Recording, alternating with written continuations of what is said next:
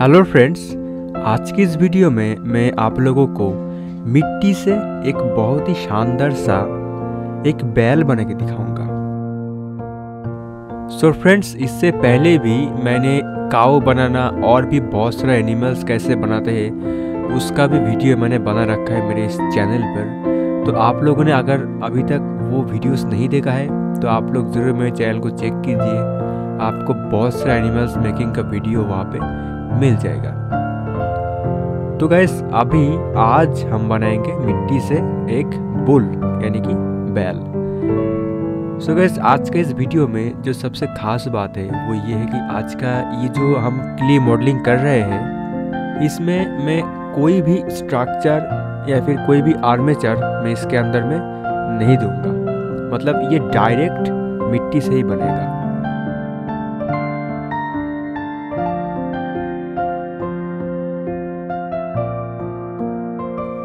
तो गैस ये जो अभी जो प्रोसेस चल रहा है, ये अभी मैं मेज़रमेंट कर रहा हूँ। मतलब ये जो बैल में बना रहा हूँ, इस बैल का मेज़रमेंट कैसा होगा? कहाँ पे पैर होगा? बैल का शेप कैसा होगा? ठीक है? बैल का सर कहाँ पर होगा? कितना बड़ा होगा? तो इसको कहते हैं मेज़रमेंट तो अभी मैं वही मेज़रमेंट कर रहा हूँ। ठीक है?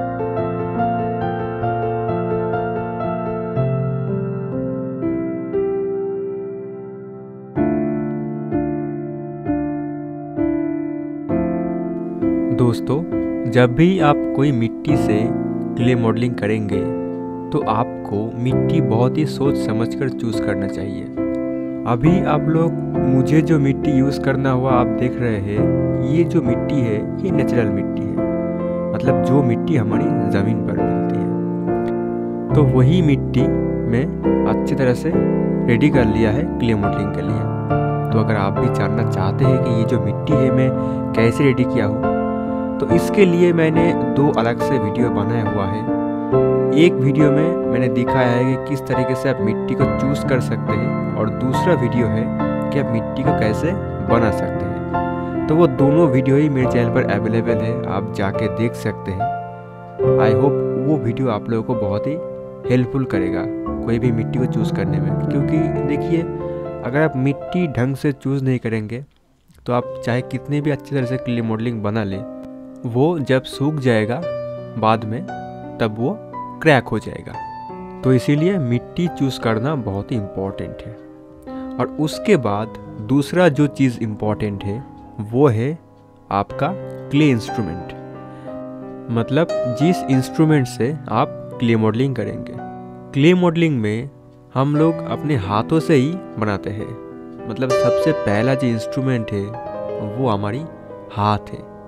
हम हाथों से ही सब कुछ बनाते हैं। लेकिन जहाँ पर हमारी उंगलियाँ नहीं पहुँचती हैं, ऐसे ही क्ले मॉडलिंग में बहुत ही छोटा छोटा जगह होता है जहाँ पर हमारे उंगलियाँ नहीं पहुँचती हैं। वहाँ पर हमें चाहिए क्ले इंस्ट्रूमेंट और यही क्ले इंस्ट्रूमेंट बहुत ही मदद करती है हमारे क्ले मॉडलिंग को और बेहतर बनाने के लिए। तो इसके लिए आपको क्ले टूल्स भी चाहिए और वो भी अच्छा सा।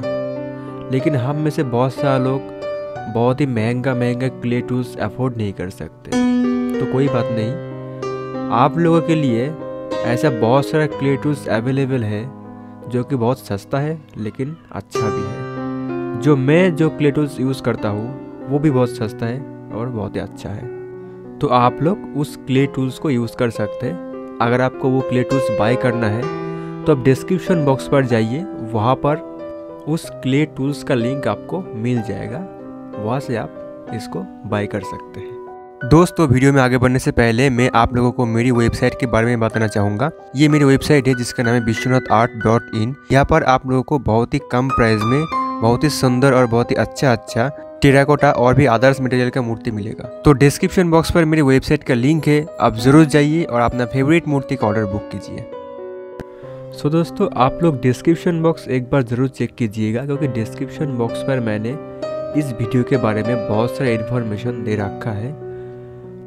और डिस्क्रिप्शन बॉक्स पर मेरी फेसबुक का लिंक है इंस्टाग्राम का लिंक है। आप मुझे फेसबुक और इंस्टाग्राम पे फॉलो कीजिए।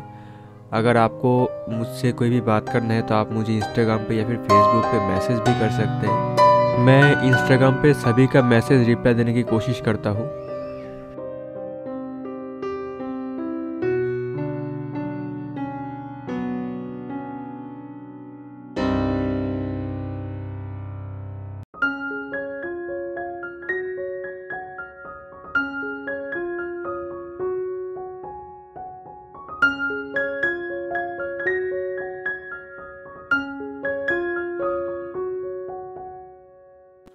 सो so, दोस्तों जो लोग बिगिनर से जो लोग अभी अभी नया नया क्ले मॉडलिंग सीख रहा है उनके लिए आज का ये जो वीडियो है ये बहुत ही हेल्पफुल है।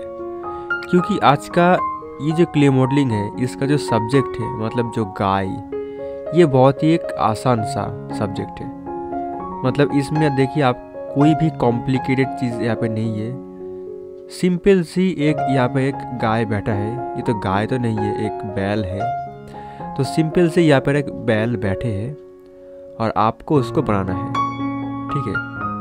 आप इसके अंदर आपका क्रिएटिविटी है कि आप इसको कितना अच्छे से बना सकते हैं। और इसका प्लस पॉइंट भी है कि ये जो गाय है, ये जैसे बैठा हुआ है, आपको इसको बनाने के लिए कोई भी स्ट्रक्चर की भी ज़रूरत नहीं है, क्योंकि ये गाय, इसका पूरा जो बॉडी है, ये ज़मीन से टच है, इसीलिए इस, इसको कोई भी स्ट्रक्चर बनाने की आपको ज़रूरत भी नहीं है। ठीक है, अगर एक गाय खड़ा होता अपने चारों पैर के ऊपर तो वहाँ पे आपको स्ट्रक्चर देना पड़ता। ठीक है? बिगिनर्स के लिए मेरा यही एडवाइस है कि आप शुरू शुरू में पहले जो सिंपल सिंपल चीज़ें हैं, जो कि आसान है, उसको पहले मिट्टी से बनाइए। अगर आप शुरू में ही कॉम्प्लिकेटेड चीज़ें ट्राई करेंगे और बाई चांस वो अगर ठीक से ना हो पाए तो वहाँ पर आप डीमोटिवेट हो जाएँगे और आपको दोबारा से क्ले मॉडलिंग करने की मन नहीं करेगा।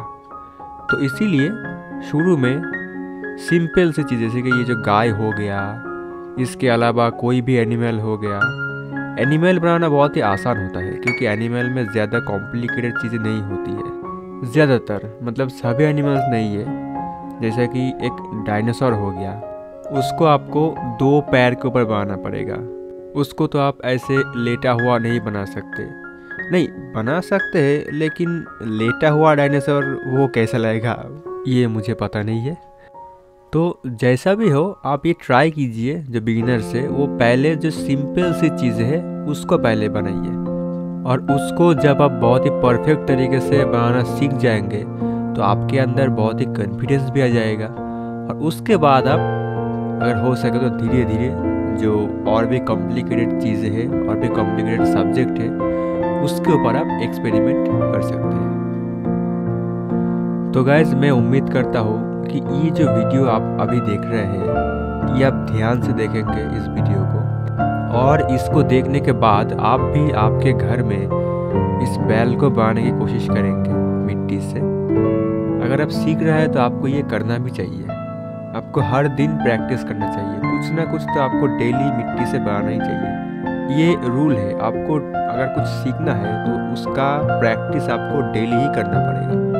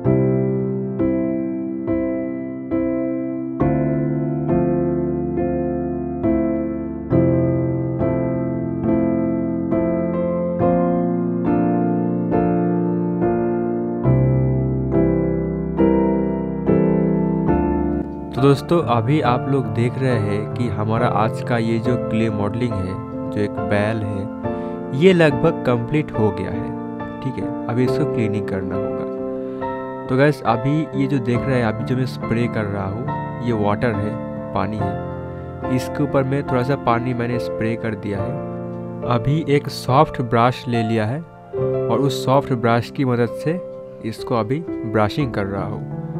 ठीक है, ये जो ब्रशिंग प्रोसेस है, ये सबसे लास्ट में होता है। तो ये देखिए तो ये जब ब्रशिंग करना हो जाएगा, तब हमारा ये जो क्ले मॉडलिंग है, ये कंप्लीट हो जाएगा।